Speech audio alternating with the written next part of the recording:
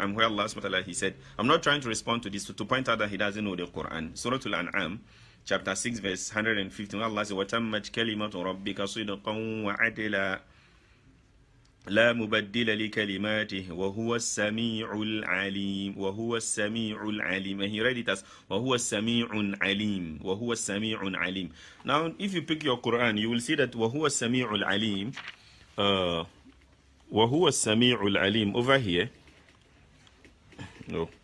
Even I cannot see what I'm trying to point over here. Where my finger is. Oh, really?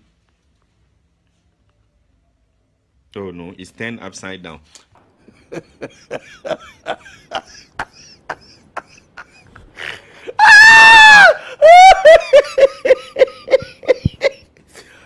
I'm where Allah subhanahu wa ta'ala he said, I'm not trying to respond to this to, to point out that he doesn't know the Quran. Surah Al-An'am, chapter 6, verse 115. Allah says, وَتَمَّتْ كَلِمَةُ رَبِّكَ صِدْقًا وَعَدْلًا لا مبدل لكلماته وهو السميع العليم وهو السميع العليم and he read it as وهو السميع العليم وهو السميع العليم now if you pick your Quran you will see that وهو السميع العليم uh, وهو السميع العليم over here. No even I cannot see what I'm trying to point. Over here. where my finger is really Oh no, it's turned upside down.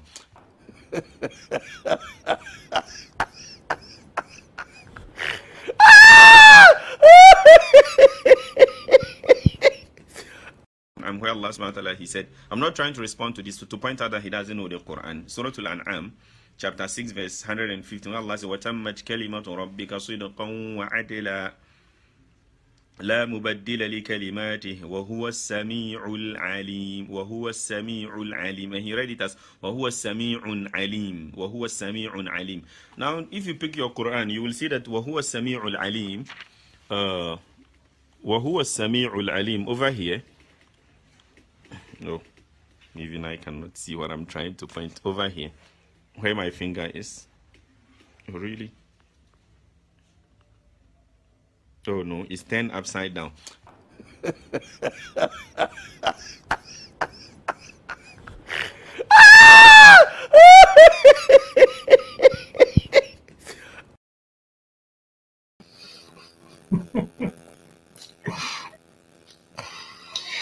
Uh, Assalamu alaikum, ladies and gentlemen. Peace be upon you all. Thank you all for coming uh, uh, this this afternoon, this evening. Uh, last week we were not able to do this program, and uh, today we are here. Thanks to God. Peace be upon you. Salam, uh, Adam, Nazir, NSC, Fatima Chin, Salam, Biggie, uh, Tikas, Alan Katujis, The Realist, uh, Young Breezy. Uh, I see you all. Salam alaikum. Thank you all for coming. Uh, yeah. Uh, let me see. This network is stable enough. Yeah. Okay. So, بعد أعوذ بالله من الشيطان الرجيم بسم الله الرحمن الرحيم I seek refuge with Allah against the against accursed devil ومن أحسن قولا ممن دعا إلى الله وعمل صالحا وقال إنني من المسلمين And who is better in speech than one who invites to Allah and acts righteous and says, Indeed, I am of the Muslims, that's the submitters. هذه سبيلي أدعو إلى الله على بصيرة أنا ومن اتبعني وسبحان الله وما أنا من المشركين. This is my way I invite to Allah by perception, I and whoever follows me, and glory be to Allah, for I am not among the mushriks, that is, uh, idolaters. الحق من ربكم فمن شاء فليؤمن فمن شاء فليكفر The truth is from your Lord, so whoever wills, let him believe, and whoever wills, let him disbelieve. Ya الذين آمنوا ittaqullaha wa kunu ma'as-sadiqin. O you who believe, beware of God and be with those who are honest. That is, who are truthful, who are honest. So thank you all once again for coming. Uh, you can kindly share the program and let other people also benefit from the lectures, today's lectures, inshallah. Uh, as as I, I initially planned, I I wanted to give the chance for people to be able to call in the program and then ask, bring in their views and uh, you know uh, whatever they have learned so far. Uh, Salam, Sister Al Bashir. Uh, hope you are doing good. You're welcome. Uh, so initially, that is what I wanted to do. But however, uh, I've diverted the topic a bit, and I want it to be based on the scholars, as I did uh, two weeks before. And I want to address certain points that people, you like, people usually listen like to listen to scholars and they don't actually pay attention to what they are missing. Like there's a missing signal when you're paying attention to the scholars. So I want to just uh, give an aid to like to give a helping hand as to how to uh, you know break down uh, these instances when you are listening to scholars and whatever they are trying to say, whether it's a lie, whether it's the truth, and how to break that jinx, you know, in understanding the discourse they are telling, they are discussing. So hereby, I want people to understand that when it comes to faith, uh, faith, which defines religion. And when we say religion, is believing in a supernatural being who controls human destiny. So we have people who tell you, no, I don't believe in religion. I don't. If you ask them, do you believe in God? They'll say, yes, I believe there is God. So that means you believe in religion because there's a difference between man-made religion and then the religion which has to do with God. And when, when we say religion with God, it's about surrendering yourself on God. That is your maker, right? Uh, so that is in Arabic we say deen, which we all know one word can have multiple meanings, but it's based on the context you're using it that it can fit the criteria you're trying to, uh, you know, allocate it to. Yeah, salam to you, uh, right? Yeah, I see you, brother. Uh, Tom uh, Srednik, I see you. Welcome. So uh, Today's topic, I'm going to talk about the devious sectarian scholars, like what they keep doing to the people and how they, they twist their tongues to make you consider something is from God or the book while it is not from the book, as said in Quran chapter 3, verse 78. So I want to give you the helping hand to pay attention clearly and how to to to, to fish out uh, this kind of games this this so-called scholar do play with uh, day in day out we will actually paying attention. So that's the helping hand i want to give today. Uh, so hereby i will be playing uh, some couple of uh, mainstream uh, i can scholars that people know. I'll be using Yasir Qadhi and then Nouman Ali Khan. As last time video i, I ended with uh, Yasir Qadhi's video where he said cannot practice Islam without the Sunnah, right? So we we want to examine that statement and put it to to the to the test and see do the actual the scholars actually know what they are telling you or they're just using their whims and desires to speak, right? Uh-huh. So let's start by using the last video I played from my last week lecture, and let's use that to to break the the notion down today, inshallah.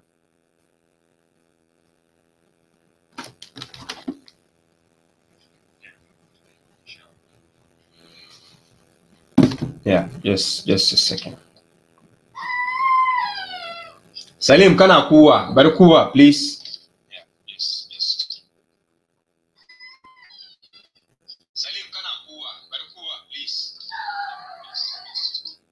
Salim, ka ji abin na faɗi?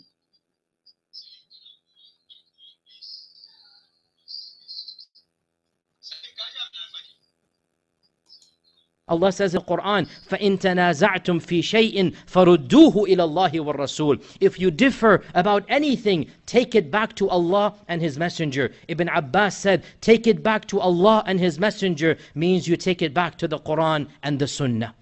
The Quran and the Sunnah go hand in hand. You cannot have Islam without the Sunnah of the Messenger of Islam. It's as simple as that. You cannot have Islam without the Sunnah of the Messenger of Islam. Anybody who comes and says, I only want to follow the Quran, is contradicting himself because the Quran tells you to follow the Sunnah. You cannot have the Quran except it comes with the Sunnah. Allah says in the Quran, فَإِن تَنَازَعْتُمْ فِي شَيْءٍ فَرُدُّوهُ إِلَى اللَّهِ وَالرَّسُولِ If you differ about anything, take it back to Allah and His Messenger. Ibn Abbas said, take it back to Allah and His Messenger means you take it back to the Quran and the Sunnah. The Quran and the Sunnah go hand in hand. You cannot have Islam without the Sunnah of the Messenger of Islam. It's as simple as that. You cannot have Islam without the Sunnah of the Messenger of Islam. Anybody who comes and says, I only want to follow the Quran, is contradicting himself because the Quran tells you to follow the Sunnah. You cannot have the Quran except it comes with the Sunnah. Allah says in the Quran,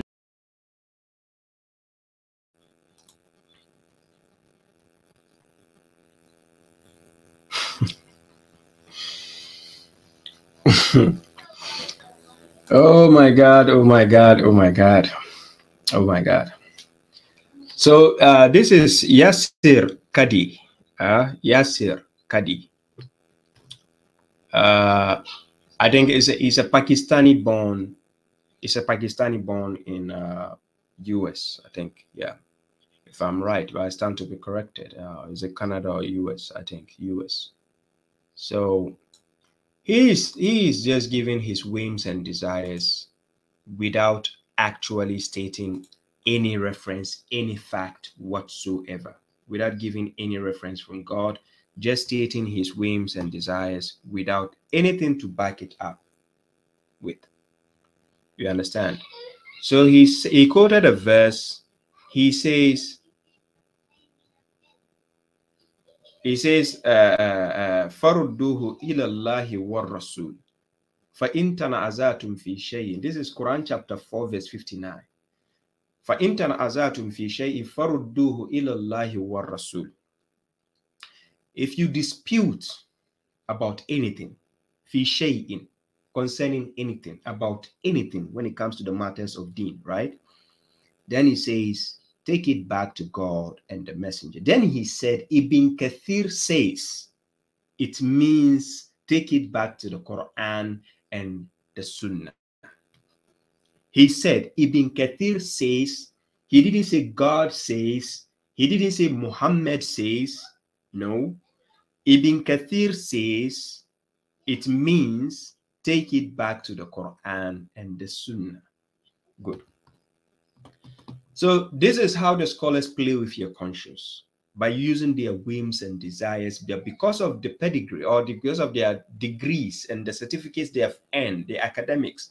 You think they're actually telling you the truth because you you deem you you deem to think that this is these are the learned people in front of you, whilst forgetting that the it wasn't God who put them in charge of you they just went to an uh, so-called Islamic uh, university or whatever, whatever institute, which the prophet has no idea about.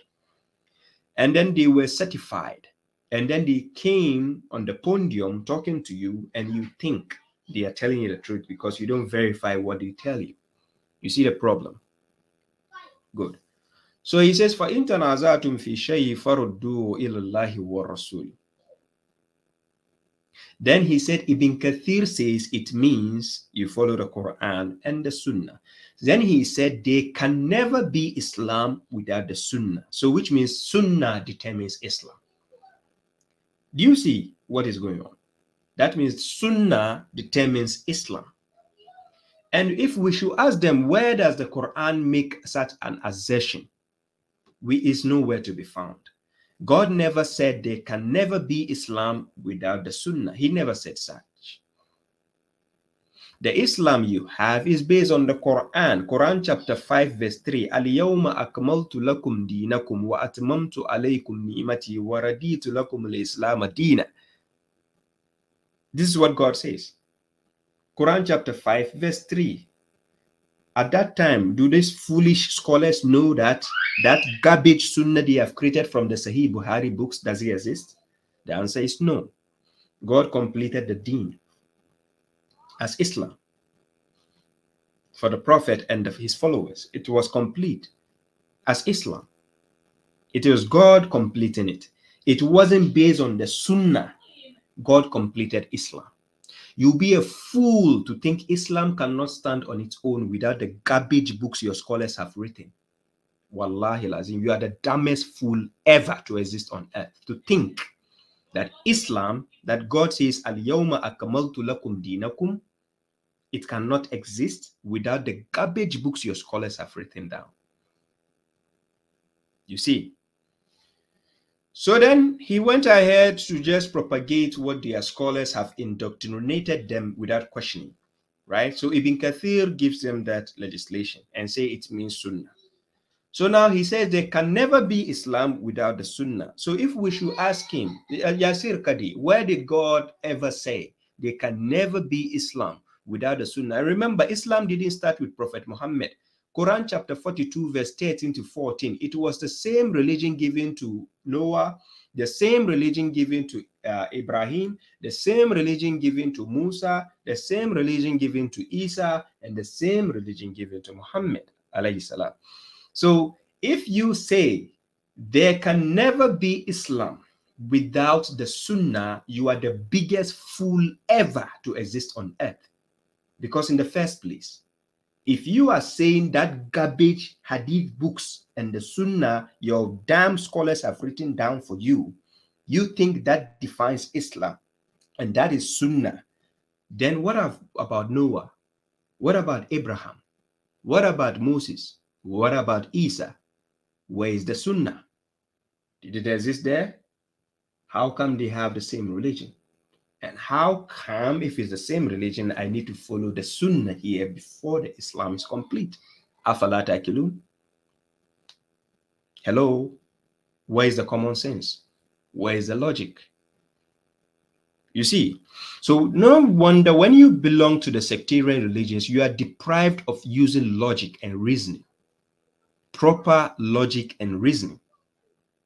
So let's listen to him once again. Then you analyze for yourself what he said. Allah says in the Quran, فَإِن تَنَازَعْتُمْ فِي شَيْءٍ فَرُدُّوهُ إِلَى اللَّهِ وَالرَّسُولِ If you differ about anything, take it back to Allah and His Messenger. Ibn Abbas said, take it back to Allah and His Messenger means you take it back to the Quran and the Sunnah. The Quran and the Sunnah go hand in hand. You cannot have Islam without the Sunnah of the Messenger of Islam. It's as simple as that. You cannot have Islam without the Sunnah of the Messenger of Islam. Anybody who comes and says, I only want to follow the Quran, is contradicting himself because the Quran tells you to follow the Sunnah. You cannot have the Quran except it comes with the Sunnah.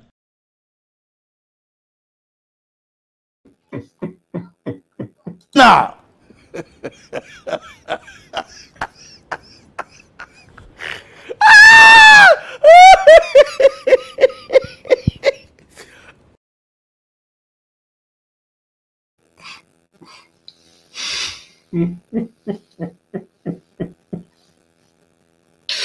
Hasbunallah wa ni'mal wakil.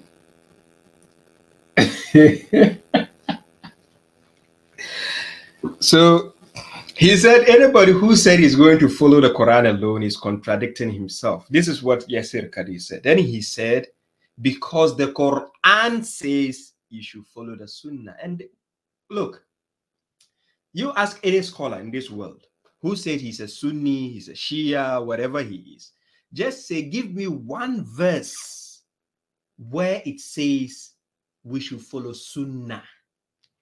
It doesn't exist. There's no single verse. What they do is they, they quote verses out of context. From today, I'm giving you assignments, ladies and gentlemen. When you are listening to the scholars, always pay attention. They don't quote verses in full. They quote it either from the middle either from the top and either from the end, and they leave it out of context. Then they put their own whims and desires with their scholars to tell you their, their opinions.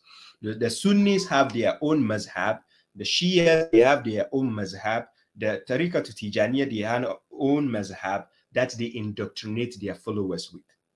So if you are part of a sectarian religion, you have been blocked from using your IQ, your intelligence to reason you can reason for yourself. It is a scholar who has to reason for you. And when I say scholar, I'm saying the so-called scholars. I don't mean scholars based on Quran chapter 35, verse 28. إنما يخشى الله من عباده ulama. Those who fear God the most among his servants are the ulama. And when you say ulama, a learned person, because when you are learned in terms of what God says, then you can have the fear of God. That is why it says, وَلَا تَخَفُ مَا لَيْسَ لَكَ بِهِ Quran chapter 17, verse 36. Do not pursue that of which you have no knowledge. Right? So when you have knowledge in something, you become a learned person. So that makes you an alim. uh, an alim. So you become an alim whereby you know because you have studied it and you know it. So you know the precautions, right? It's just like driving. You go and learn driving, you learn the, the road signs, the rules and regulations concerning the street, so that when you are driving, you know the signs and regulations so that you don't cause accidents on the way. So you have the fear of the traffic because you know, you are aware. You understand? The ignorant person is not afraid because he doesn't know what the rule says. He can do what he wants. He's ignorant. But when you are learned, you have the fear in you because you know the consequence of the dangers which can arise. Do you see how the logic works? So when it comes to religion, you are bound to implement your IQ, ulil albab, be of those who possess intelligence. This is what God wants from us. This is why God asks us, Afala takilun, will you then not reason? Afala tubsirun, will you not see? Afala tatafakkarun, will you then not uh, reflect? Right? So now we listen to such people and we think they are the knowledgeable people we'll have in this world. And then they twist the narrative in front of us and then we believe. So if today, me, Baba Shuaib, I'm just speaking, somebody is already picturing me in front of Yasir Qadhi and then saying, who does Baba Shuaib think he is? When did he grow up? This young guy, what does he think he knows? Oh, really?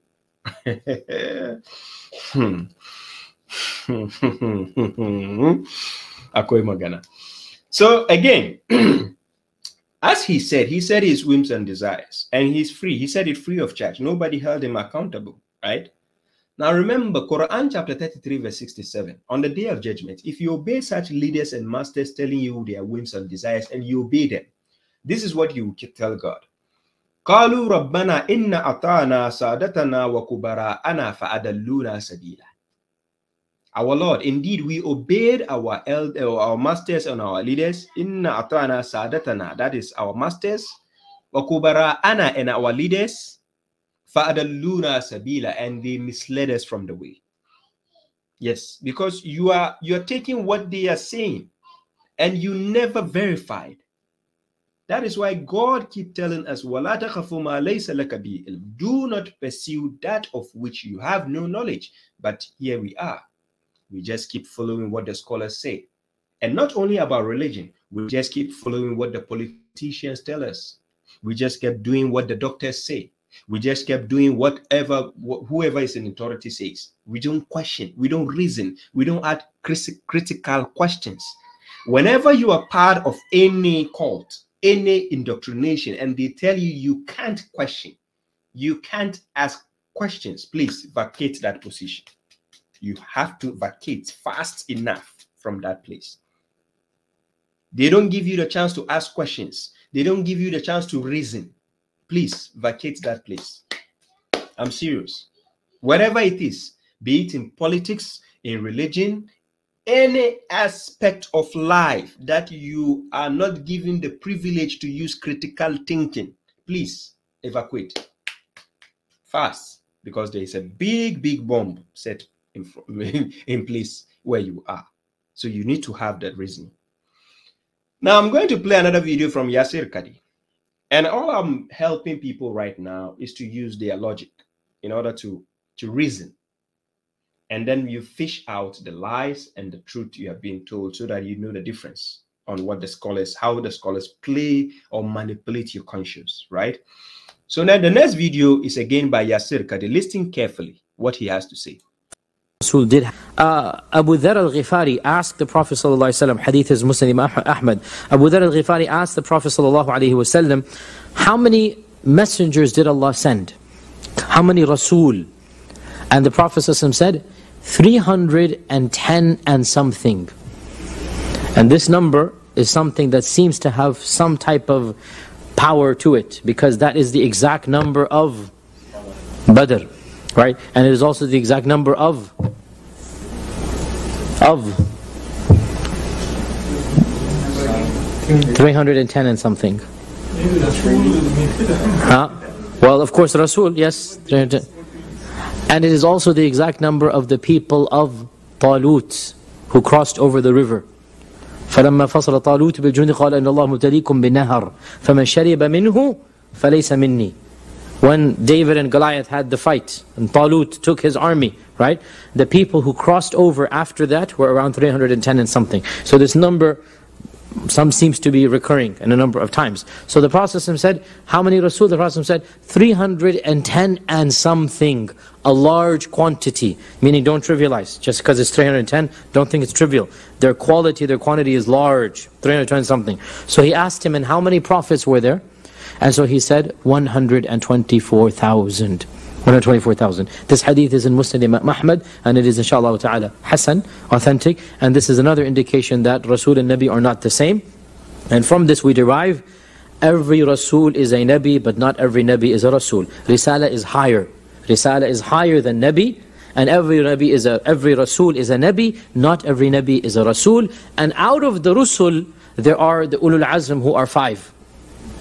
Out of the Rusul, there are the elites of them. Ulul Azmi min al-Rusul. And these are of course the greatest ones that humanity has ever seen. And these are Nuh and Ibrahim and Musa and Isa and our Prophet Muhammad sallallahu alayhi wasallam. And uh, one more point, uh, before we move on. And that is that Rasul did. Uh, Abu Dhar al-Ghifari asked the Prophet ﷺ, hadith is Muslim Ahmad. Abu Dhar al-Ghifari asked the Prophet ﷺ, how many messengers did Allah send? How many Rasul? And the Prophet ﷺ said, 310 and something. And this number is something that seems to have some type of power to it because that is the exact number of Badr, right? And it is also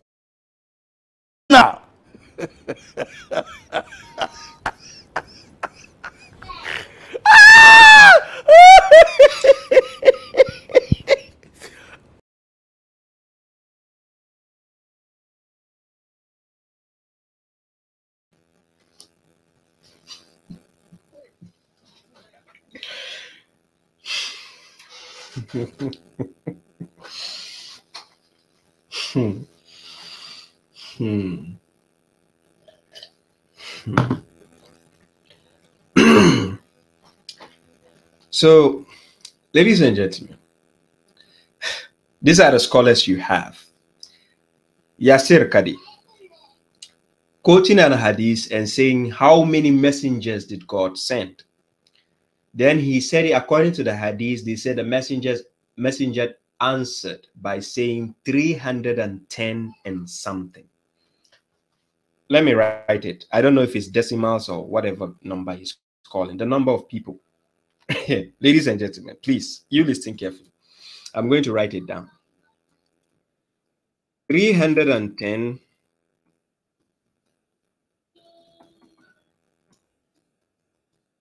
and 10 and something. I'm going to put it on the screen. Very big enough. Allah, Allah, eh, sectarians. Hmm. Oh my God. Oh my God. Three, 310 and something. How? How? How? I don't understand. How? 310 and something. I can't think far. Seriously, I can't think far. 310 and something. The number of messengers. 310 and something. Ladies and gentlemen, they ask him how many number of messengers Somebody like Yasir Qadhi is sitting down there and he says 310 and something, right? 310 and something. Oh, I forgot to put H there. Yeah. Now, if we have to write this down into numbers, remember, he says the number of messengers, so meaning the number of people, right? So 310, 310, if they are the number of people, if you say and something, which means point something, so it can be 1.1 or 0.2 or 0.3 or 0.4. So let's make it point decimals, right? We put point there. Uh, the number of people can never be in this decimals, right? It's just like saying the number of uh, the number of cars, which can, which can, which are countable. They can never be in in decimals. So when you say 310 and something, and it's not specific, but this guy say is the exact number. I don't know which university that guy graduated. I have no idea. And this guy is a scholar. How? So he says 310 and something. And when we say exact, he says it's the exact number. Oh my God. Exact means marked by strict and particular and complete accordance with facts. Unchangeable. But this guy again went further to say this number seems to be reoccurring of have variance as time goes on. This is what he says. This number keeps reoccurring in such a way in variance. 310 and something, the number of messengers. And this guy said his exact number. Then they ask him the number of prophets. Then he says 124,000. And then he went ahead to say the prophet's duty and the messenger duty are not the same. So there's a difference, right? But whenever God says Atiullah wa Atiur Rasul, this this same mushriks again will tell you that obey the prophet. Whilst God is saying obey God and obey the messenger, the foolish mushriks will go ahead and tell you Atiullah wa Atiul Nabi. If you ask them, open one verse in the Quran and show me where it says obey the prophet, it becomes an issue. But these same mushriks are sitting down in this video telling you the messengership duty is not the same as a prophethood duty. They are different. They are not the same. So now he went ahead to say God sent 124,000 prophets, but he sent only 310. I wonder which number is that? 310 and something. I wonder. I wonder. The number of human beings, 310 and something. Hasbunallah wa ni'mal wakil.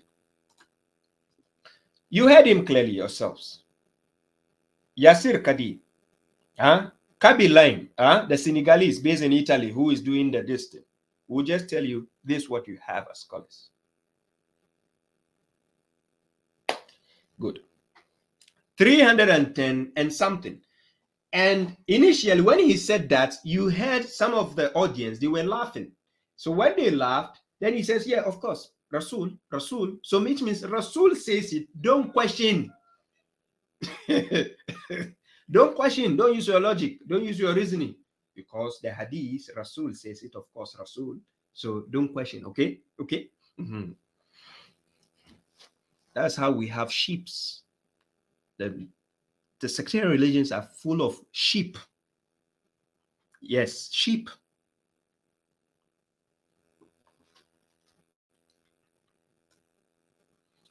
Now, I don't want to spend too much time on Yasir Qadhi. It's a waste of time. Let's put him aside. I'm going to another guy, Nouman Ali Khan, who, who is also a Pakistani born, I think, born in Germany or something, and he moved to US, and now he's based in US. I think he's the founder of Bayyinah Institute, right, in US. And he is also somebody, the mainstream uh, people, like in the mainstream, who is also considered as a scholar because he does the lectures and whatever he teaches people online and people take him somewhat seriously and they think this guy is learned. Well, I, I seem to agree with some of the stance or some of the things he says because he's somewhat intelligent, but he's dangerous. He's devious. I will tell you for a fact he is. So I'm going to play some of his two videos and I tell you how devious he can be. So pay attention. And the other extreme is we believe in the Sunnah of the Prophet ﷺ just as we believe in the Quran, and we see them as inseparable from each other. I would even say that the first tafsir of the Quran, the first explanation and the application of the Quran, is the living model of the Prophet. ﷺ. The disservice, however, is when you look at anything, the Book of Allah or the Sunnah of the Messenger, وسلم, in a shallow way. In other words, you read a hadith somewhere, a translation, a shallow translation of a hadith somewhere, some tradition.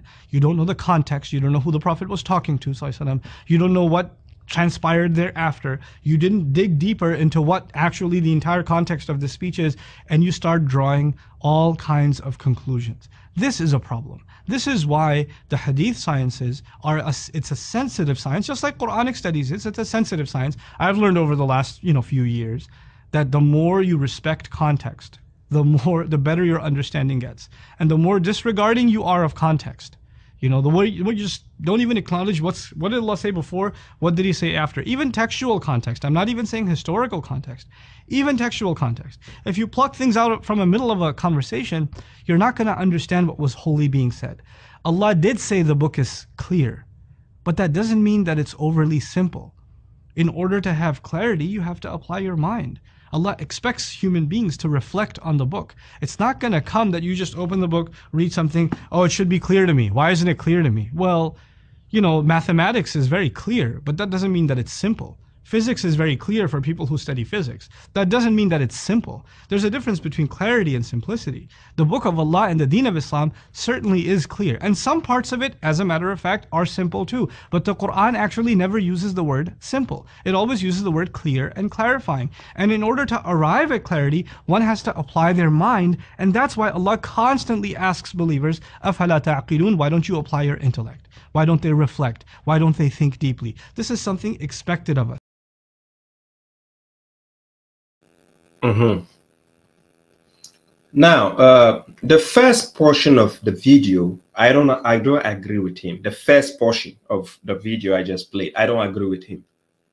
The second portion of the video, I agree with him, right?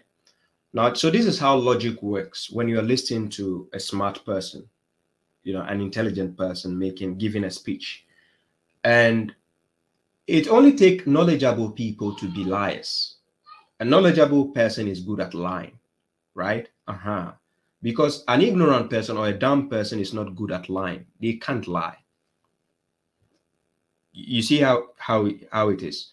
So whenever you have a liar, a liar takes a lot of deep thinking to to understand how your logic works before he lies to you because he knows how he can escape. So every liar is an is a knowledgeable person, right? And not only knowledgeable, is intelligent. So take the, the, the instance of fraudsters, people who do scamming online, or they are very intelligent and they are very smart. So that's why they are devious. Now, when you have somebody who is devious, he has a tactic in order to convince you to believe in what he has to tell you. But mind you, he will always use his intelligence to talk to you, but not use facts to prove something to you. No. He has to use his smartness, but not proofs. Do you see how it works? This is why a person is devious. So whenever you have a liar, a liar cannot prove their, their statements or whatever they say. Liar cannot prove it. What a liar does it, it's he outs, outsmarts you by using intelligence.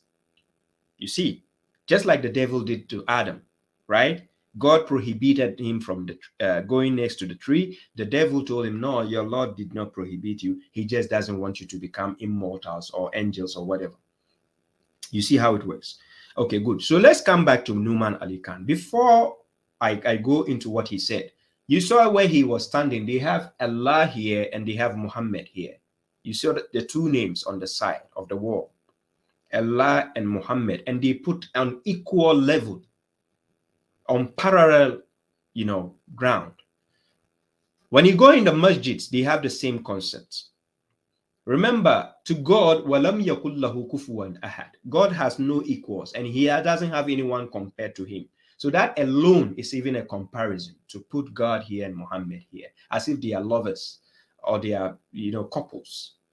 You understand? So this they tell you, uh, subconsciously, they are telling you that you cannot do with, with, with, you cannot practice anything without these two. It has to do with Muhammad, uh, not the messenger, Muhammad, the imposter, the fake one they gave you in the mainstream, right? From the hadith, not from the Quran. The Muhammad in the Quran is doesn't have the pedigree they are giving him. No, it doesn't have that same pedigree. They are putting him there. Because the Muhammad of the Quran was told to tell the people, to invoke God alone in the masjid, masajids. But today, when you go, according to the Muhammad of the Hadith they have, you have to invoke him together with God. So you see the difference. So again, this guy brought the notion of the Sunnah, right? How the Sunnah interprets the Quran and explains the Quran for you. He didn't quote any verse to back it up. Then he went further to tell you that you shouldn't just read a verse in the Quran and then think you have understood it because you take it out of context. Then he mentioned context. I agree with him 100% when he went to that field concerning context.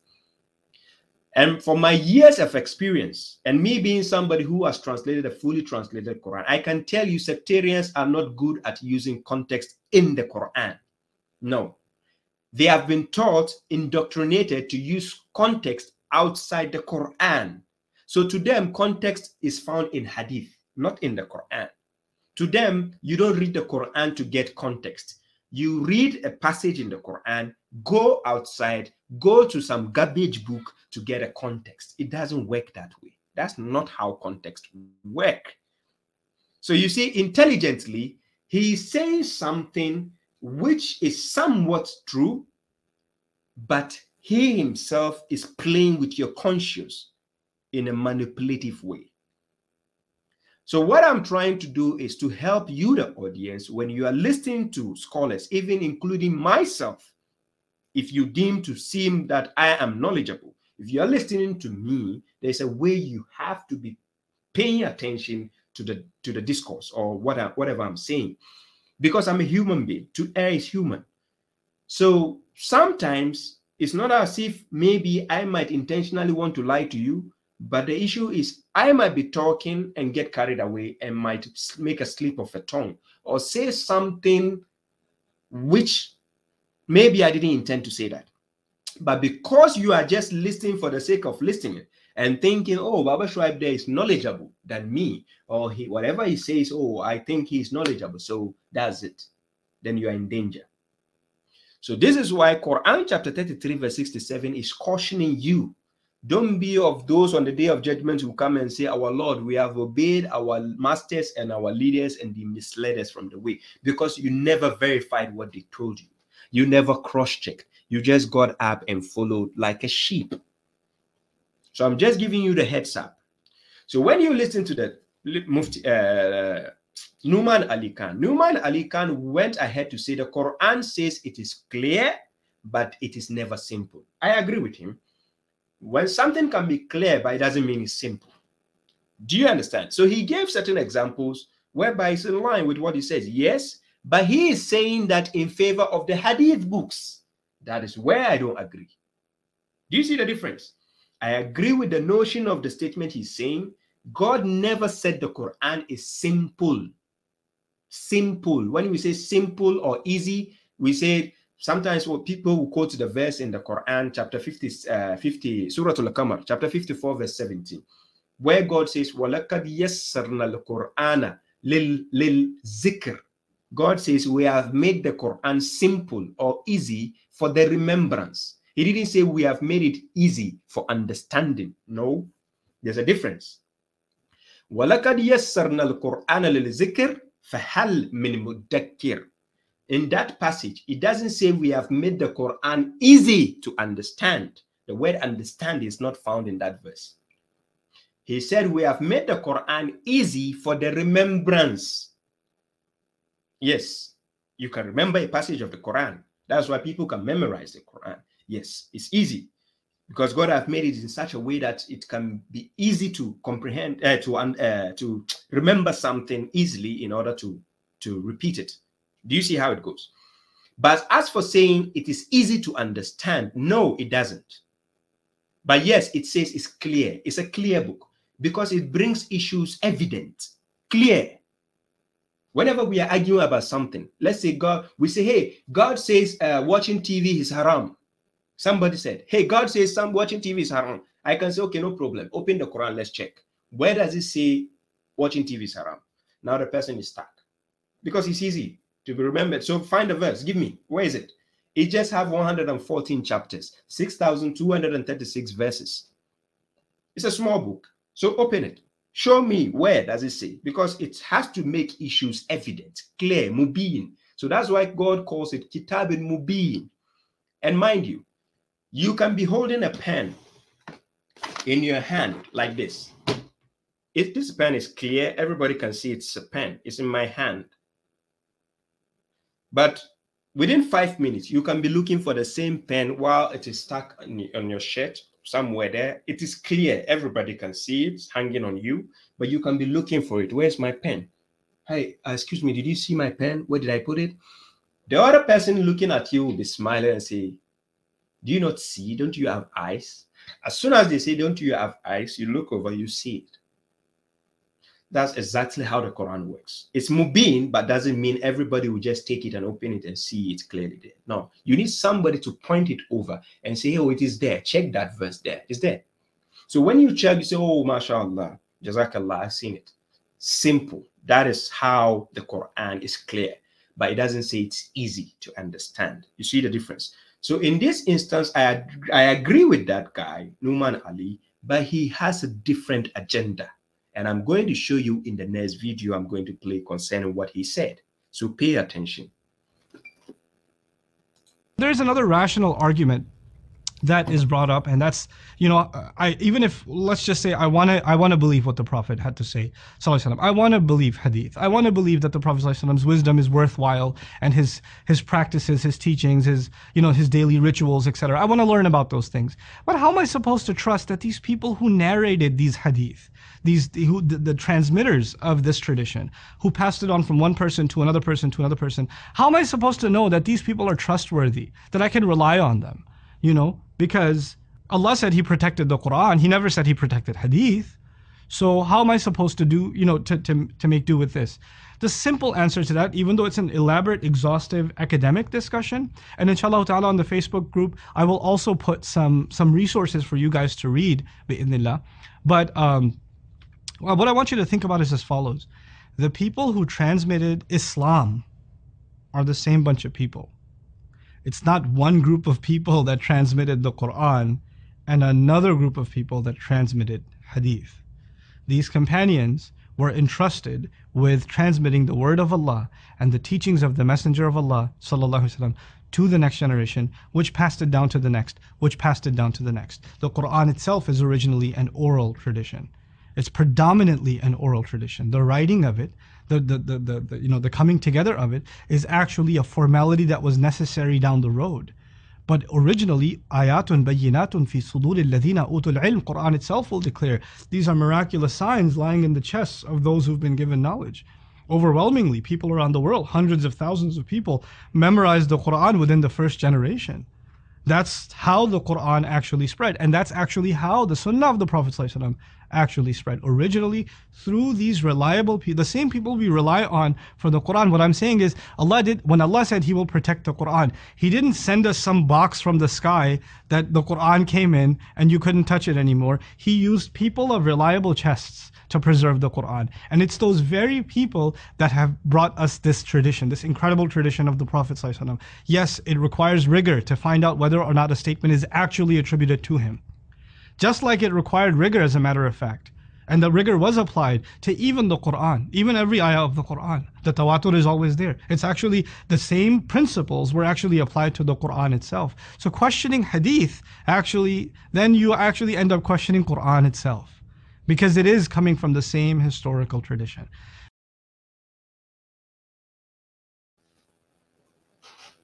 This guy deserves. Nah.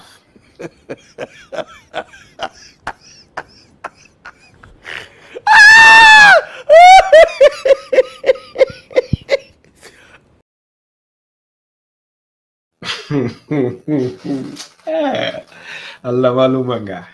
Is that? oh my God! Oh my God! These people are playing with our conscience, big time. I played this two and a half minutes video again by Nouman Ali Khan. He never quoted a verse, no verse.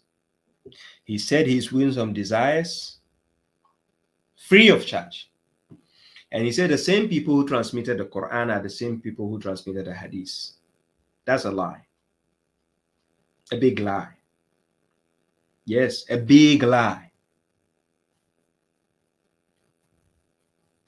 The popular hadith you have today is Sahih Bukhari and Sahih Muslim, Jami al-Tirmizi and Abu Dawud and Sunan Ibn Nisa. These same people who transmit these hadiths, are they the same people who transmitted Quran? The answer is no. Okay, let's go, let's go back in time. According to your garbage hadith, you said there was Umar, there was Ali, there was Abu Bakr, there was Uthman. These people, did they transmit hadith? Did they transmit hadith? Are they the transmitters of the Quran as well? The answer is no. According to your garbage hadith, you said Usman took all the types of copy, copies of the Quran, bent all of them, and he left one version. You believe in that garbage because it's hadith still telling you that garbage, right? Good. You went ahead to say the Quran was orally transmitted, and same way the hadith was orally transmitted, right? Good. So all this while, you people keep repeating the same statement like a sheep. You keep repeating because whatever you keep repeating, which is a lie, becomes the truth in the people's head. And this thing you heard Nouman Ali Khan saying is all over the Sunnis. You hear the same statement they keep telling you. Ask them for proof. Wallahi, they can't prove it. Hatu. They can't you just then put them to the test. Whenever you hear a scholar say this statement, tell him to prove to you. Give me the proof. Where I need one transmitter who transmitted the Quran, right, from the Prophet's time and transmitted the same hadith from the Prophet's time. Bring, give me one transmitter and tell them I'm waiting. They will never bring you the answer to the day of judgment. You put them to the test. I'm just helping you, giving you the weapons in order to understand how scholars play with your conscience. And again, at the end, he said, if you are rejecting the hadith, then you are rejecting the Quran because they are the same. You see the foolishness again. Do you see the errant garbage and foolishness this guy is telling you? Because he has been paid to say that rubbish. Quran chapter 17, verse 88. Let's see if what Nouman Ali Khan is saying is true. And let's check what God is saying. Who is more truthful than God in a statement? Is it Nouman Ali Khan or is it God himself? So let's go and check what God says. In Quran chapter 17, verse 88, God says, Kul لَإِنِ ala an yatu bi-mithlihi يَأْتُوا بِمِثْلِهِ هَذَا الْقُرْآنِ لَا يَأْتُونَ بِمِثْلِهِ وَلَوْ كَانَ بَعْدُهُمْ لِبَعْدٍ zahirah." Do you see what the verse says? He's telling the messenger to say, say,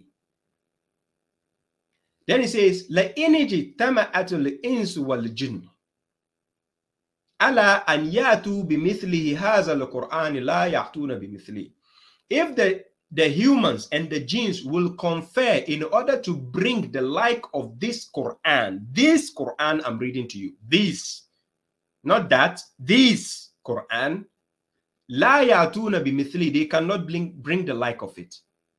وَلَوْ كَانَ بَعْدُهُمْ لِبَعْدٍ زَهِيرًا even if they were assistants to each other, they can't bring the like of this Quran. So ask any foolish mushrik out there. The Quran and the Hadith, are they the same? If they are foolish enough, they will say yes. If they are not foolish, they will say no. If they say no, then ask them, which of the two books come from God? They will tell you the Quran. So how then are you telling me if I reject the hadith, it's just like I'm rejecting the Quran? Are you in your right senses? Did God say that? Did God says the garbage hadith you have is his book? Then why are you telling me if I reject the hadith, it's just like I'm rejecting the Quran because they came the same way? Is that what God tell, told you that they came the same way? Or are you just repeating what your scholars tell you out of foolishness? Quran chapter 6, verse 115. God clearly told the Prophet, وَتَمَّتْ كَلِمَةُ رَبِّكَ صِدِقًا وَعَدْلًا لَا مُبَدِّلَ لِكَلِمَاتِهِ وَهُوَ السَّمِيعُ الْعَلِيمُ Quran chapter 6, verse 115. He says, The word of your Lord is complete in truth and justice, and there is no alteration to his words. So it clearly tells us at the time of the Prophet Muhammad, the word of God is already completed. It was complete, nothing was left. Even the disbelievers, the kafirs at the time of Muhammad, they bore witness that he wrote the Quran. Yes, he wrote it. He wrote the verses of the Quran, Quran chapter 25, verse 5 to verse 6. Go and check for yourself. Quran chapter 25, verse 5 to verse 6. And then we just stoop so low and listen to these foolish scholars. I repeat, foolish scholars lying to you. You don't cross check, you don't examine, you don't hold them accountable. You don't put them and ask them critical questions, and yet you make them question your credentials and tell you, uh, uh, uh where have you studied? Uh, which, which university have you attended? Uh, uh, what? The prophet who brought the Quran, tell me which university he has attended before bringing you such a book from God. So you tell us these scholars have to go and be indoctrinated by the so-called uh, you know, Azhar universities before they come and tell you about Islam. And you refuse to use your logic, your, your intelligence to question what these people are telling you. Right? So none of what Mufti, uh, this Nouman Ali Khan said can be proven. He cannot prove, and none, no scholar on earth can prove that. If any scholar out there tells you you can prove that statement, I'm available, Baba Shuaib. Tell him to find me. I'll put my phone number up there. Let them find me and let's discuss this. Wallahi lazim. And you see how I'll handle them for you to, to, to see their foolishness. Right? Good. Now, I'm going to break down some instance prior to this video, what Nouman Ali Khan said, right? I want to break down some instance to help you understand a certain, a particular point. And I'll be coming to read the, the uh, questions and answers people have asked so far because I wasn't paying attention to the statements. I'll come to that inshallah so that I, I, I address some of your points. Now, according to Nouman Ali Khan, he said we have to rely, we should rely on, on the transmitters of the hadith. He said God says he will protect the Quran, but he has to protect it through human beings. Is that what God told you? That he he, he God said it in the Quran that he will protect it through human beings. He never said that it is out of this foolishness of these scholars, they are now repeat, saying such things. That God says he will protect the book through human beings. He never said that. There's no verse where he says he will protect the book through human beings. He never said that. No. Good. Now, one thing God cautions us in Quran chapter 6, verse 102. He said, That is Allah, your Lord. There is no God except Him creator of all things. So worship him, for he is a representative over all things. He's a representative. That is when we say wakila or wakil, someone who is a representative. So take him as your representative. Now, this statement, God told the children of Israel, Quran chapter 17, verse 2. He says, وَآتَيْنَا مُوسَى الْكِتَابَ وَجَعَلْنَا هُدًى لِبَنِي إِسْرَائِيلَ أَلَّا تَتَّخِذُوا مِن دُونِي وَكِيلًا we gave Moses the book and made it a guidance for the children of Israel that do not take a representative a representative besides me meaning don't, don't take somebody you rely on besides god even though god gave moses the book so automatically we have people who tell you I have to rely on Moses. No, God says, do not take a representative besides me. So God has to be the representative, your wakil, nobody else. When you go to Quran chapter 6, verse 107, he told Prophet Muhammad the same statement. He says, And if God had willed, they will not have associated others, meaning become idol worshippers. But he left them to become because they chose to become. So then he says, And we have not appointed you, Muhammad, as a guardian over them. We didn't put them as a guardian to guard you, to be your your your your guardian angel or what something over you. Then God says, Nor are you their what? Advocate, meaning somebody you can rely on. Their wakil. God didn't send Muhammad to be your wakil. So when we define a true believer, the definition of a true believer according to the Quran, it is somebody who has to rely on God. And when I mean God, that is Allah, you don't rely on anybody else when it comes to the matters of your deen. It is not for you to go and rely on anybody else but God. So, Quran chapter 8, verse 2 to verse 4, let's see the definition of a true believer. Right? So, when we say a true believer, in order to understand the structure of a true believer, you don't need to rely on an outside source or an external external book in order to become a true believer. So Quran chapter 8 verse 2 to verse 4 it says allazina iza zukira Allahu wajilat qulubuhum wa iza tuliyat alayhim ayatuhu zadatuhum imanan wa ala rabbihim yatawakkalun. So you see where the word wakil comes in. It was used as a verb here. Huh? So upon their Lord, they rely on their Lord. So this word relying, yatawakkal, comes from the word the wakil, to, to for somebody to represent you that you rely upon. So God says, الذين يقيمون الصلاة ومما رزقناهم ينفقون أولئك هم المؤمنون الحق لهم درجات عند ربهم ومغفرة ورزق كريم.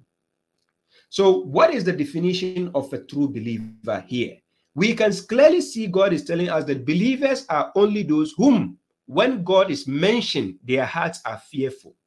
And when his verses are recited, not garbage hadith recited, when his verses, not any garbage sunnah recited, when his verses are recited, not any garbage book recited to you, when his verses are recited to them, they increase in faith, not any garbage hadith book recited to you. Listen carefully. Then he says, they increase in faith and they rely on their Lord. You don't rely on Sahih Bukhari. Neither did you rely on any uh, false Sahaba they tell you about. Neither did you rely on any foolish scholar they are telling you about. You rely on what? Your Lord. The ones who establish the Salat, and from what we have provided them, they disperse, meaning they give to charity. Those are the true believers. For them are degrees at their Lord, as well as forgiveness and generous sustenance. Quran chapter 8, verse 2 to verse 4. These are the definition of a what? True believer. You rely on God. You don't take another representative other than God. Muhammad was not sent to be your wakil. Neither did God uh, advise you to take a wakil other than him. So you have to take God as your wakil. That is enough. The reason why you can't take Muhammad as your wakil is clearly stated in Quran chapter 2, verse 272. God clearly told Muhammad, Laysa alayka hudahum, walakin Allah yadi man yasha. Their guidance is not upon you. However, God guides whomever he wills. So if our guidance is based on Muhammad, then we can also take Muhammad as a representative, our wakil. But no, God didn't send him to be an hafiz over you. Neither did he send him to be your wakil over, over you. Do you understand? Muhammad was never in that criteria.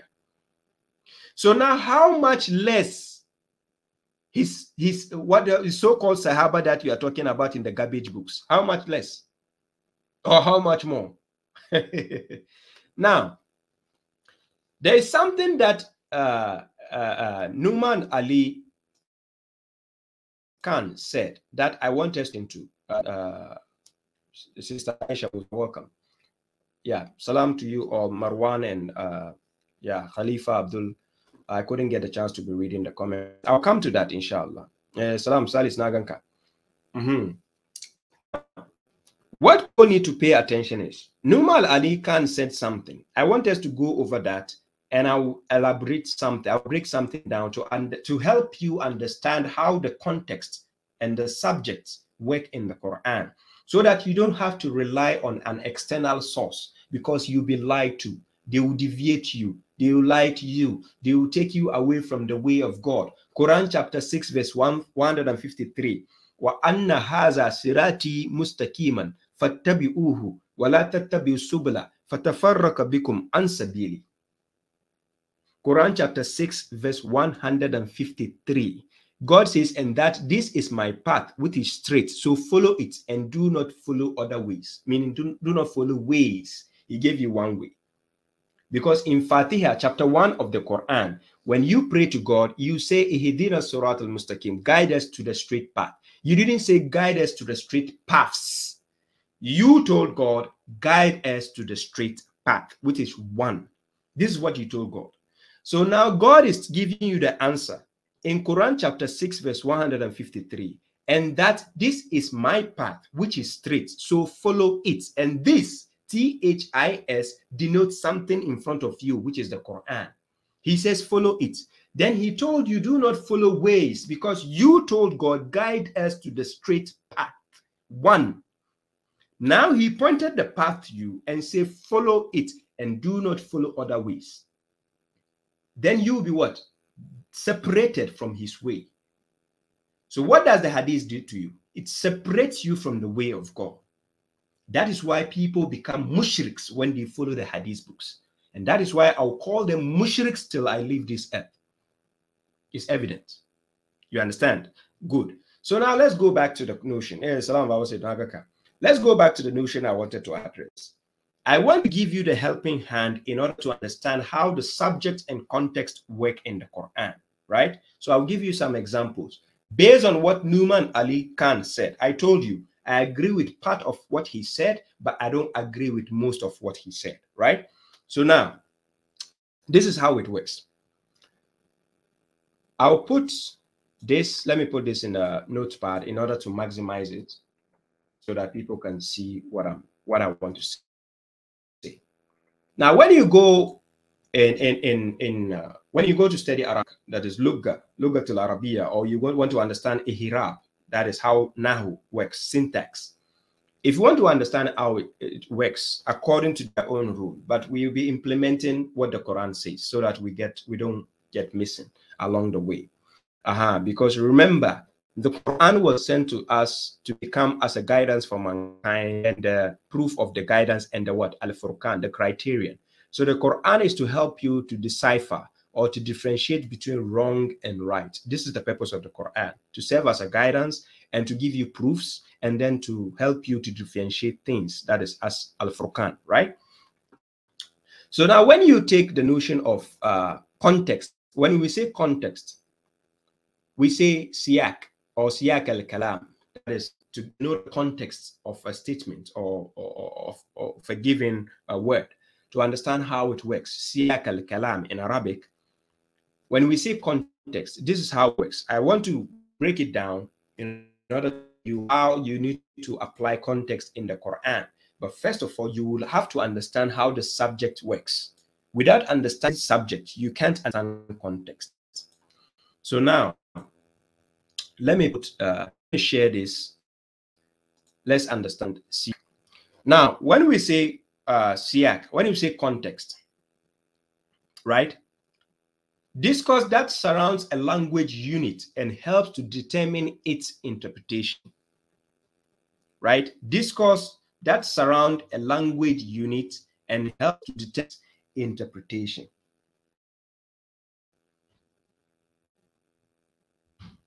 Yeah. What we call text. That is siyak al-kalam, context, siyak al-kalam. Good. Now, what I want you to understand is when you take a discourse in a language, whether in Arabic, whether in English, whether in any language. For instance, for people who have read the book Romeo and Juliet, written by William Shakespeare, right? Romeo and Juliet was written in the ancient English language, right? When you take that English and you are reading it into the modern standard English of today, it, it will not make sense to you. It will be full of gibberish, right? It will not make sense to you. At that time when it was written, it makes full sense based on the context. If you put it in the based on the subject and context being discussed, you understand it totally. If you bring it into the language we are using today, this modern day English, it will make no sense. It will be a nonsensical book. So now, when you're dealing with context, which is siyak al-kalam, always you have to understand how the discourse work. So it's a discourse that surrounds a language unit and helps to determine its interpretation. So you can take a book, three books in English language, but they are all based on different subjects and contexts. Even though they are all written in English, but words there will not mean the same thing. This word will be written here, but it means something different that same word you find it in this book will mean something different because the subject being discussed is different based on the context. That is why there are certain words you know from here, it doesn't carry the same weight in this, in this or that book. You see how it works. So now, what I want to help my audience to understand is you should always understand how subjects, what subjects is being discussed before you can put things into context. If you don't understand which subject is being discussed, you can never put things into context because then it will become your own context and you are out of context. So you need to understand how context work when you're relying on the Quran on its own to understand the subjects. Now, when we say subjects, I share the screen when we say subject, let me go back to sharing the screen again. Then that instance down for people to, to, to get what I mean. When we say subject, eh, in Arabic, we can use the word mawdu. Some people can say topic, right?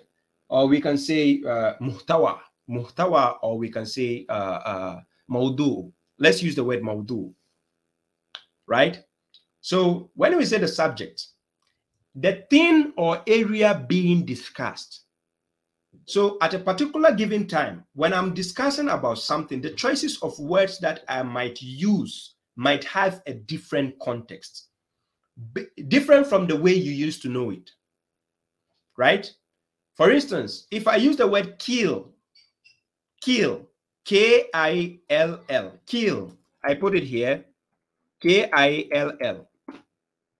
The word kill this word, kill, I can put it in the context based on the subject I'm discussing. I can put it in a context where it doesn't mean to literally murder somebody.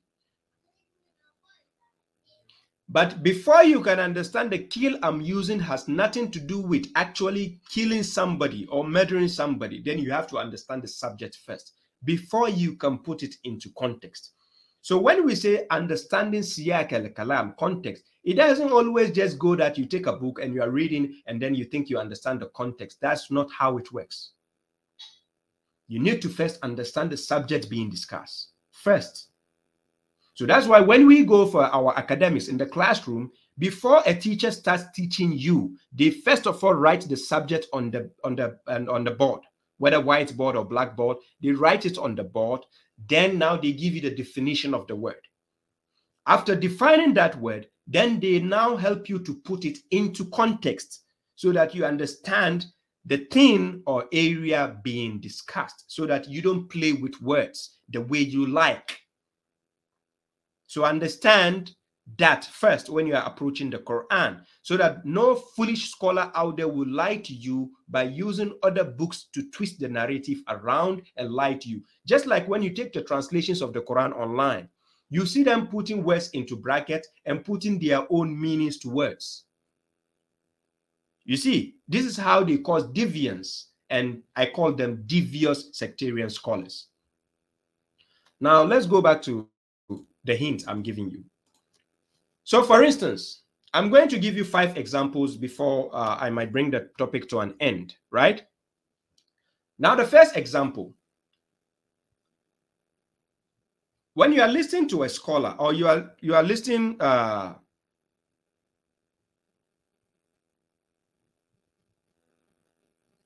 yeah salam muhammad isaka. No problem. After the program you can replay and then you watch right? Uh-huh. Sorry about that.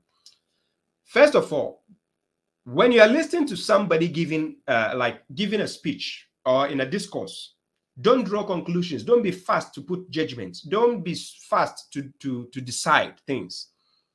Try to understand the statement till it ends. If you don't understand go back and understand and ask for the subjects right?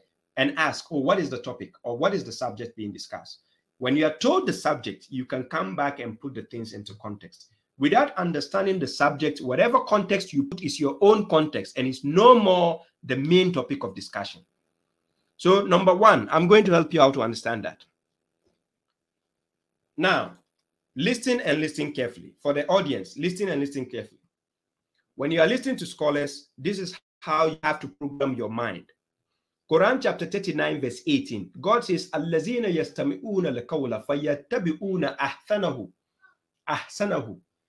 Those who listen to the word and follow the best of it, of it. The word that you are listening, the word, which is the Quran, and follow the best of it. Wa ulil. Those who listen to the word and follow the best of it, they are those whom God has guided, and they are those who possess intelligence.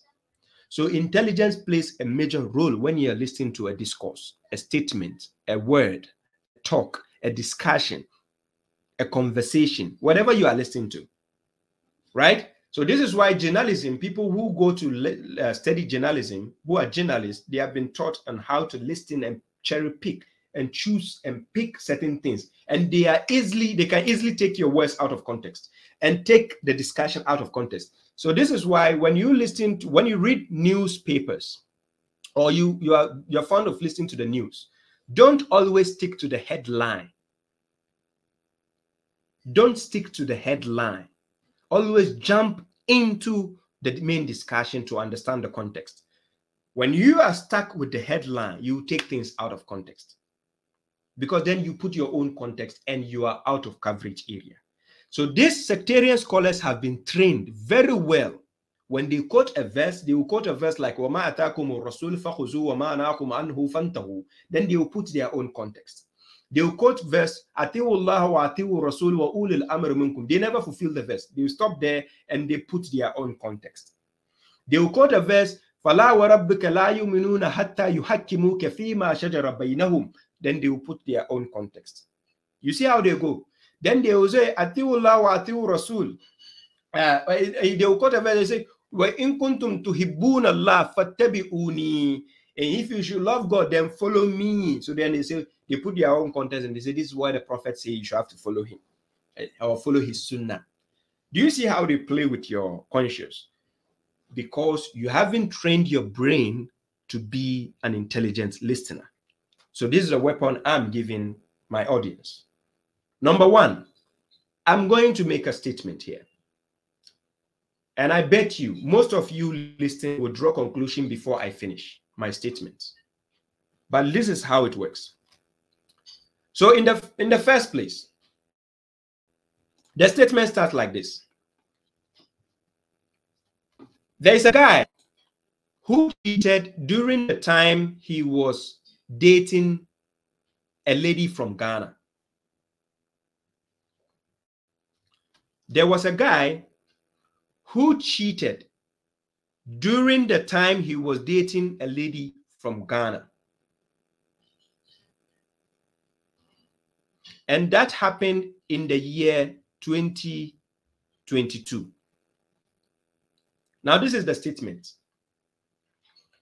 Now, when you give people chance to put this into context, they are left with their whims and desires to guess. Do you know what they will do? Because you mentioned the word cheated. So they circulate this word cheated, and you mentioned the word lady. So they circulate the lady. If you ask them to put it in the context,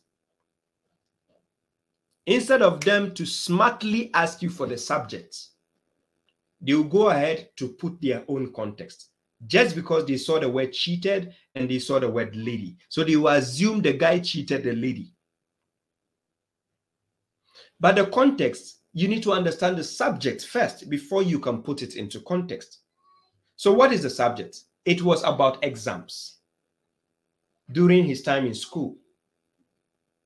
So, he, the guy, cheated in the exams during the time he was dating the lady in the year 2022. So, you see, in the statement, I use the word dead lady, but you don't understand the subject. So, how can you know the lady I'm talking about? Because the specific statement there is to specify the word lady so that you will know that this is a definite article. But if you don't know the subject, how can you know what I'm talking about? So if you hurry up to put your own context, you are in limbo. And this is what most people do when it comes to uh, understanding uh, the, the doctrine in, in Islam. You see, so when I started the statement, you might think I'm talking about cheating in terms of relationship, that the guy maybe cheated. He went behind his girlfriend. No. Do you see how it works? But if you leave the subject out and I tell you put it into context, you miss the context because you are only going to assume the context because you don't know the subject of discussion. So the cheating I mentioned has nothing to do with the relationship, but instead it is talking about the exams, which is the subject.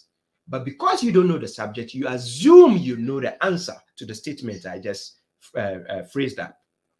So do you see how context work? You need to understand subject first before you put things into context. The second example, I'm talking about Barcelona and Real Madrid. For those who watch football, Barcelona is a football team from Spain and Madrid is a football team from Spain. I used to be a Real Madrid fan. I'm just going to give you an example. Now, all of a sudden, I'm discussing with somebody in a hall. We were having a discussion, and it's about Barcelona and Real Madrid. Then I told a friend that, oh, Madrid must win against Barcelona. They have to win. They have to win this match because there's no chance for them to win the league. So they have to win. So while discussing, then I said, they should surely kill them. They have to kill them. So when I said they have to kill them, a third person walked into the room Prior to the person coming to the room, I was talking to a friend. Only two of us were having a discussion about Real Madrid and Barcelona. Then I said Madrid must win against Barcelona. Then now I change the statement to use the context, a word in the context, by saying they have to kill them. Now, when I said they have to kill them, I only use a pronoun. Now I didn't use the subject itself for the discussion. I, I changed it into a pronoun. So now the pronoun is determining that I'm talking about specific type of people, some people. But the third person who walked into the room, all of a sudden he heard me saying they have to kill them tomorrow. They have to kill them tomorrow. Now, this third person who just walked in, if he is an inquisitive person, right? What will happen is, without asking for the subject we are discussing, if you ask him to put whatever we are saying into context, he's left with assumption and his opinions. What he will say is, oh, you're telling you think somebody is going somebody going to kill somebody tomorrow? Oh, who is going to kill who? So even if he's still left unanswered, that we don't give him the subject, he will go and tell somebody that I heard Brother Shuaib telling somebody that they have to go and kill somebody. Meanwhile, the subject gives you the clue to the context because assuming if the person knows the subject, the context will have been easy because then he will know me saying Madrid have to kill Barcelona will make sense because I use the word kill. But because I left the word Madrid and I left the word Barcelona to change it into pronoun by using they have to kill them, that word kill can have multiple meanings based on context. So it is on that context you understand what I meant by saying kill. But without you knowing the subject, how can you put my words into context? So you have to listen to the word and follow the best of it. You don't just listen and then put your own context or your words and think you know. It doesn't work that way.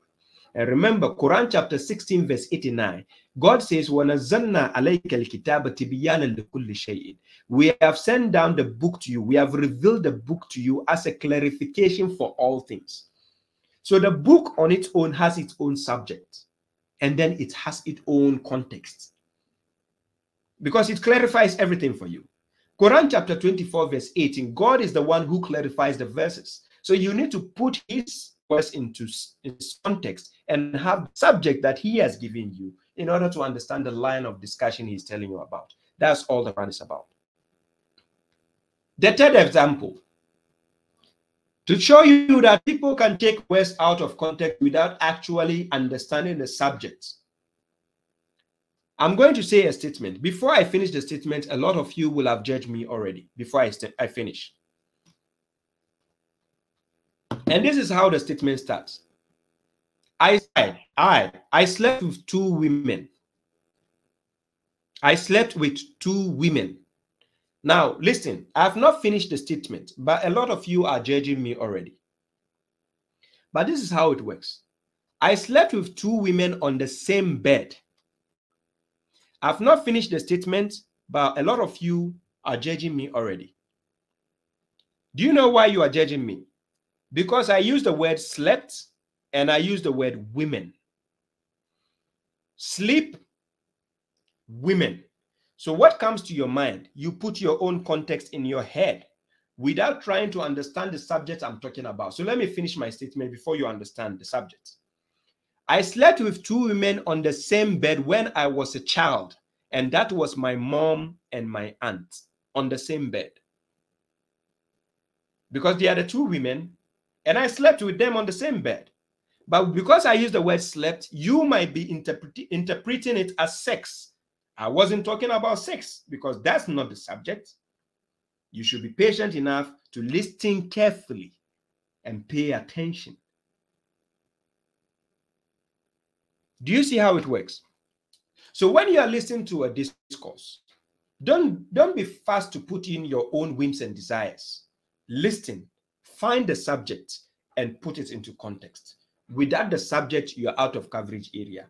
When I started the statement, I've not finished, but we have people who draw conclusions and put their own context.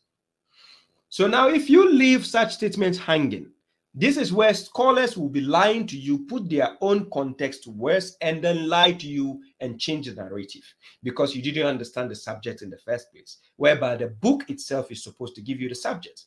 So I slept with two women on the same bed when I was a child, and that was my mom and my aunt. There's nothing bad about what I said, there's nothing profane, but because of the way it started, without you understanding the subject of discussion, there's a problem you take my words out of context because I use the word slept and I use the word women.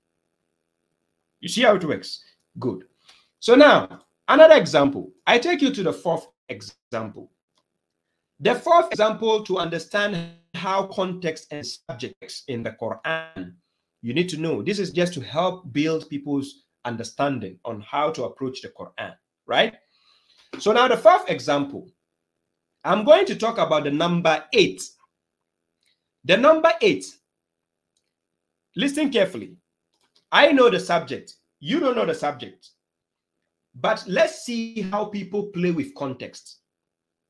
Try to understand how context works. You can never put things into context if you don't know the subject. Now, we all know the number eight, right? I'm going to put it here. We all know the number eight, right? So let me share the screen. Uh, the number eight. I share the screen.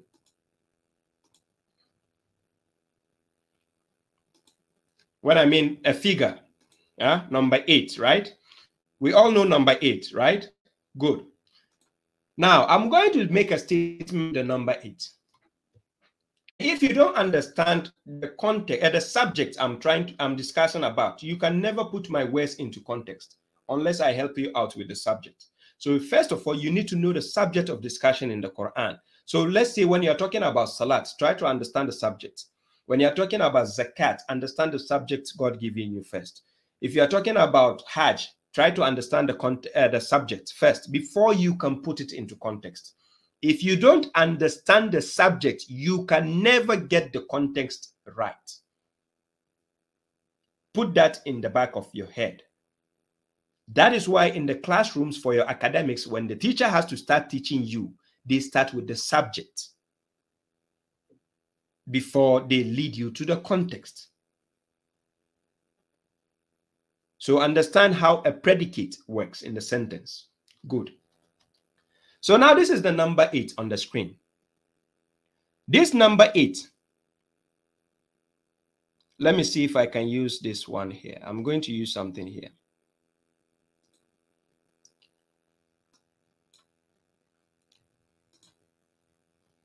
Uh, now, the next is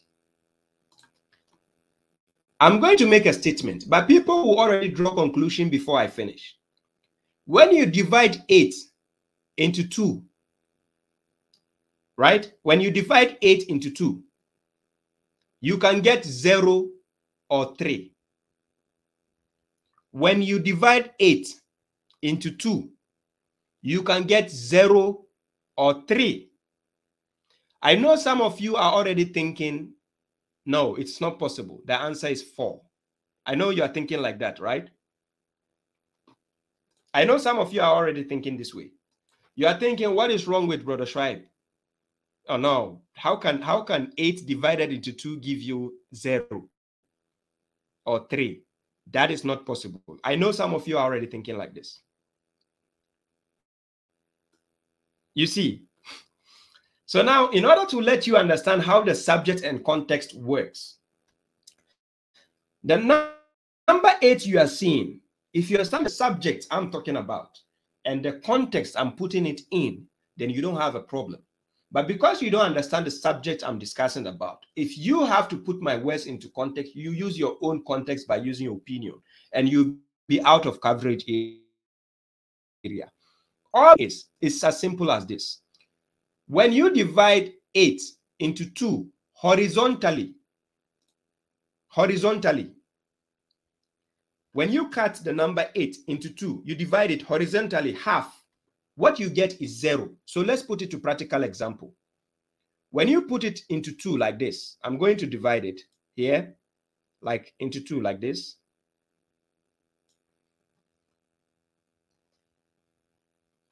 Do you see it, ladies and gentlemen?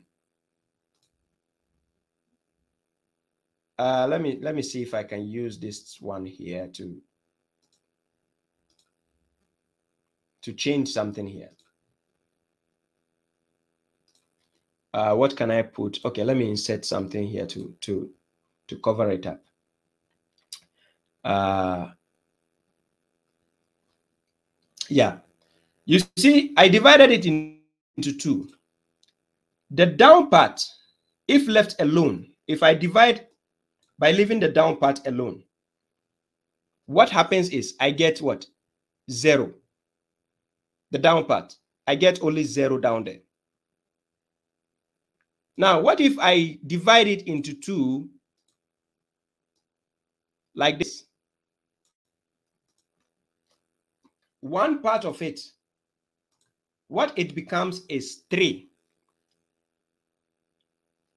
The other part becomes three. So based on the subject and context I am talking about, eight, the number eight, when divided into two, you can get three or you can get zero, based on when it's divided vertically or horizontally.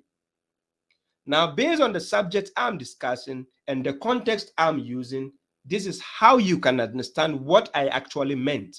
But if you are listening to me without understanding the subject of discussion, you might pick my words out of context and you say, Brother Shuaib said what?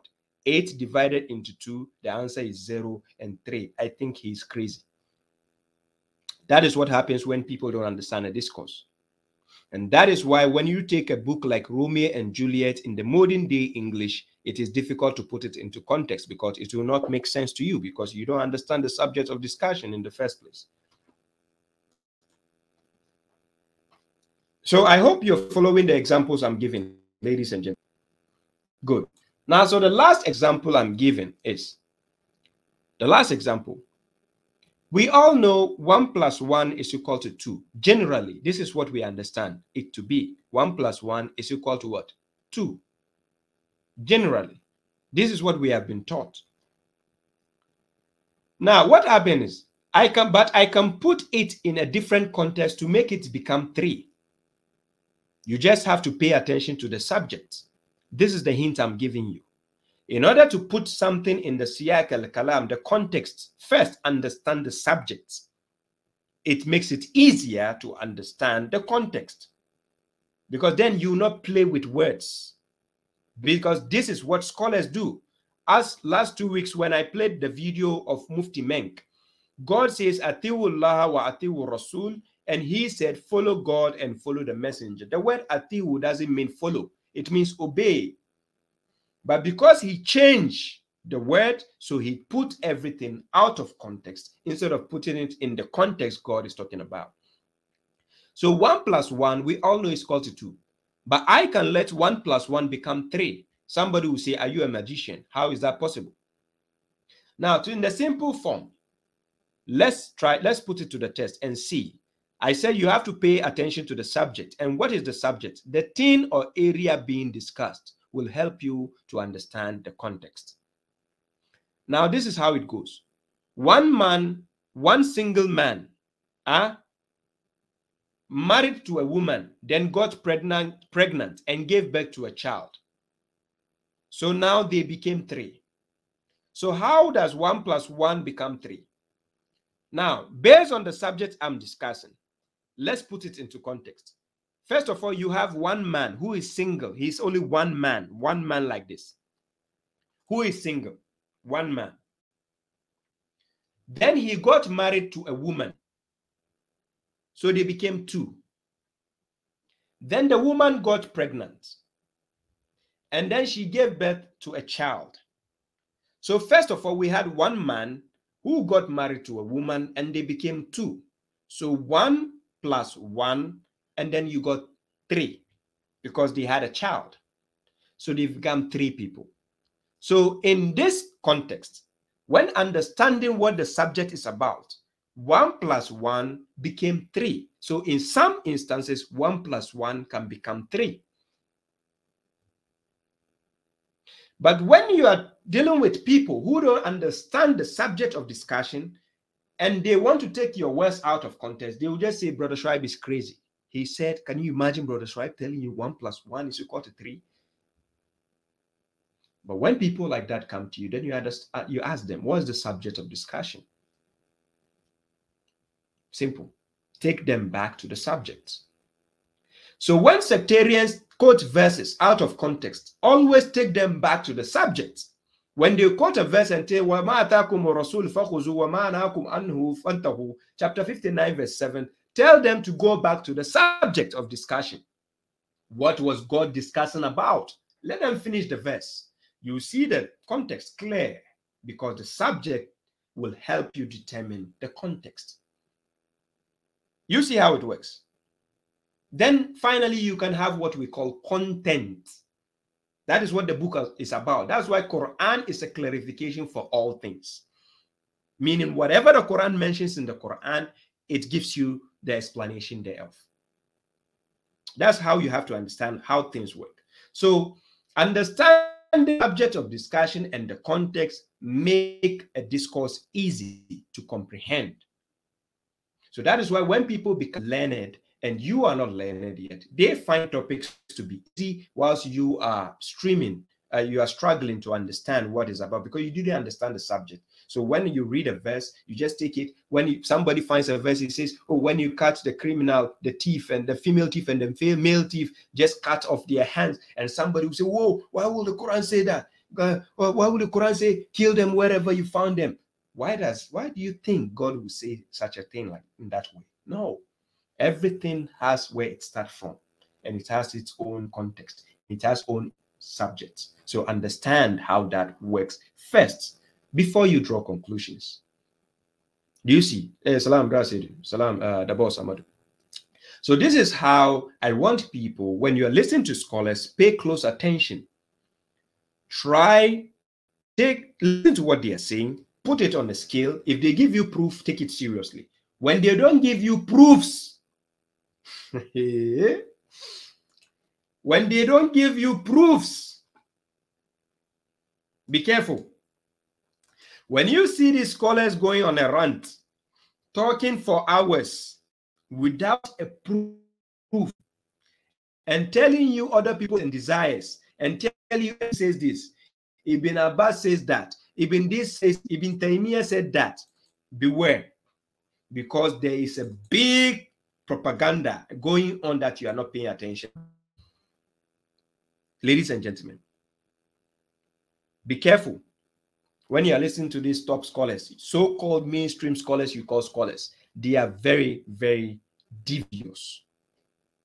Uh, they are devious sectarian scholars. They are devious. Aha. Uh -huh. So what I want people to understand is listen to what Zakir Naik has to say before I end the program. Inshallah. Any person, any scholar, sister, says anything, ask for proof. Allah says in Surah Baqarah chapter 2 verse 111, Qul hatu bunanakum, produce your proof in kuntum sadiqin, but if you're truthful. Any scholar. Therefore, what I say that what Dr. Zakir Naik says in Islam is zero. No value. What Allah says carry weight.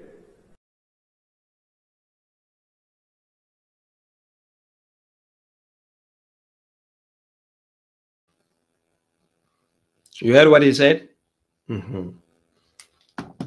What he Zakir Naik says in Islam is zero. What God says, carry it.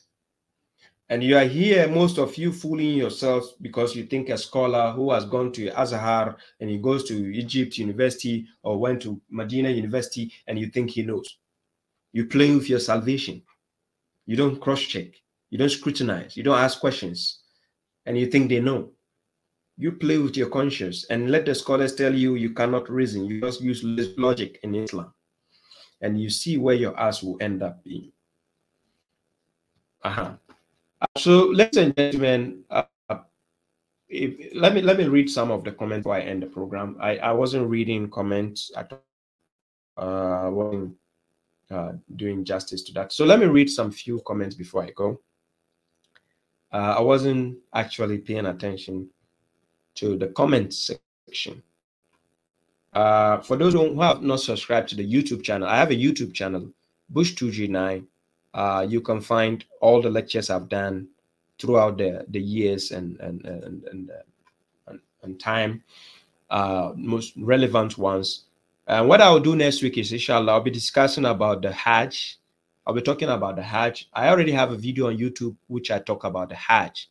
Uh, that is it. Is there a pilgrimage in the Quran, or is it Hajj in the Quran? I, I talk about a topic like that. You can find it on my YouTube channel in my folder Hajj series. I talk about Hajj, but I will be I'll be discussing again concerning the Hajj and the Siam, the abstinence. We have to do the fasting and uh, the animal uh, slaughtering, what whatever entails, whatever it entails concerning Hajj. I'll be discussing about that as well so that people can benefit.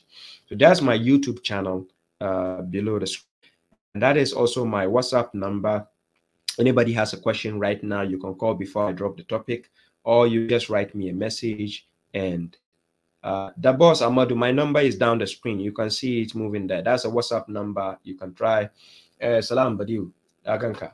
Uh, let me let me see some of the questions uh, being asked because I wasn't paying attention. Uh, salam Abu Bakar Bangura. Yes, you're welcome. Uh,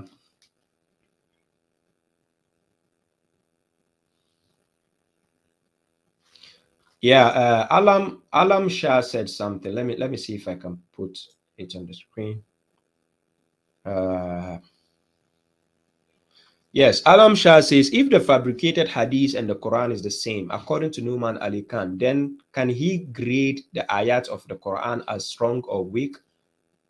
Obviously not. Yeah, that is true. He can't.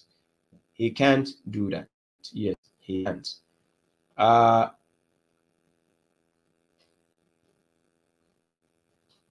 yes, uh, Dexter also wrote this. He says they are they are trying any means possible to promote the prophet of the hadith. That is evident. That is obvious. That is the an impostor in the hadith books. The prophet you see in the hadith books is not the same prophet in the quran. They are different. This one uh, that one in the hadith married a six years old girl. The prophet in the quran never married a girl because god asked him to marry the women not a, uh, a small girl. Uh-huh yeah, uh, Jimmy also said concerning the messengers God told the mess, uh, Muhammad about Quran chapter 40 verse 78 some messengers God told him about and some he didn't tell him about. So I don't know where these hadith mongers actually got all these informations concerning messengers from. And that's how they keep lying to people. Uh-huh yes the, the uh Mohammed Din says, I need this video. No, I'll do the video. Uh, Bashir Abubakar Enes, yeah, salam. Yes, uh, Dexter, Dexter also said, let me share this statement. Dexter says, where, oh, he says, where where was Sunnah when when God completed the Quran? Exactly. That's the question I, I asked them. Where where was where was the Sunnah? I, I have no idea where they got it from. Ah, uh, Davis Mark, yeah, um, peace. Uh, then uh, Saeed Adam said, I just admire the simplicity with which you explain issues. Thank you. I appreciate that uh, it has to be simple because Quran chapter 22 verse 78 God says who ajtabakum min haraj. Is the one who has chosen you and has not placed any difficulty in the deen upon you. So your deen has to be simple. Like things doesn't have to be difficult. That is after you have acquired the knowledge. It's just like driving.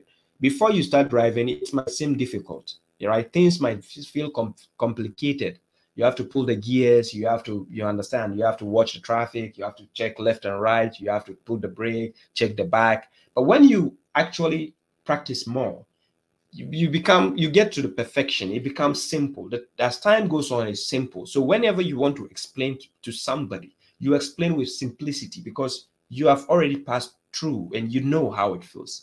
So that's how knowledge feels like. When you have acquired the knowledge and you can put it into practice and experience when you are going to explain to somebody, it shouldn't be difficult to explain. It should be it should be with simplicity. You see, and that's what I try to do my best. Uh, yeah, yes, salam alaikum Mahmoud. Yeah, uh, thank you, God, uh, Sayyid Adam. Uh, salam Jalil. Yes, see you. Alhaji Mahmoud. I see you. Yeah, Salih Jimmy. Uh, Baba Sidhu. I think guys, this is where I need to bring the topic to end. Uh, for those who have not been able to your questions or what uh, your statements.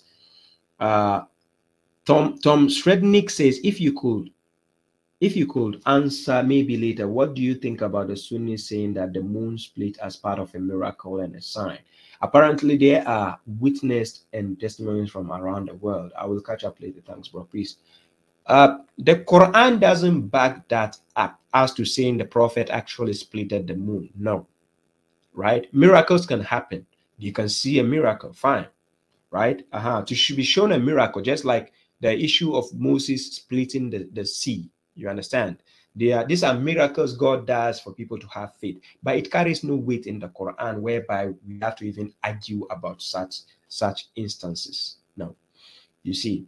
Uh, Hamdu Isaku says, brother, I will be happy if you can talk uh, a little about the Hajj. I'll be doing that next, inshallah. May God permit us. I'll do that. YG, yeah, salam, peace. Uh, thank you, gentlemen.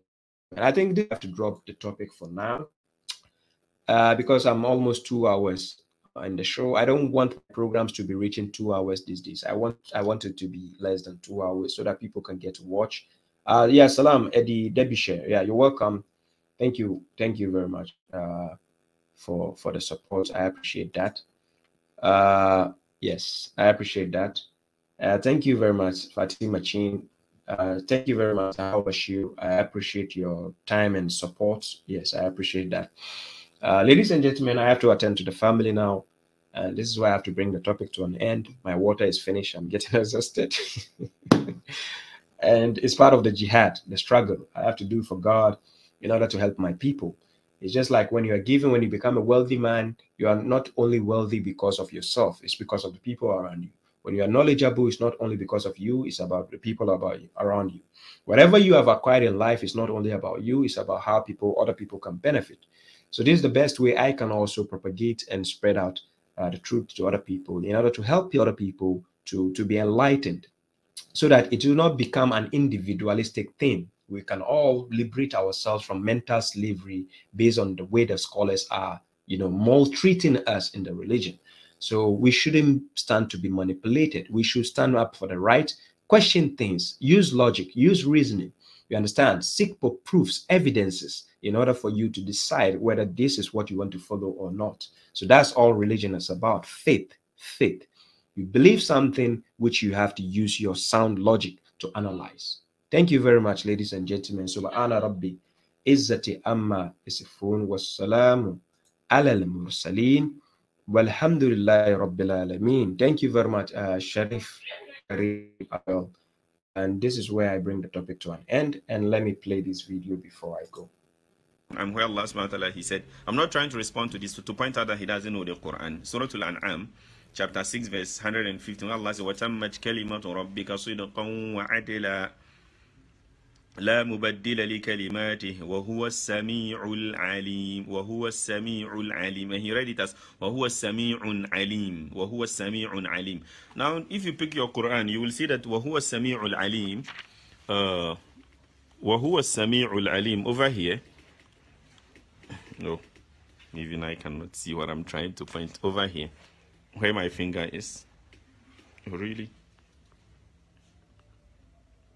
Oh no, it's turned upside down.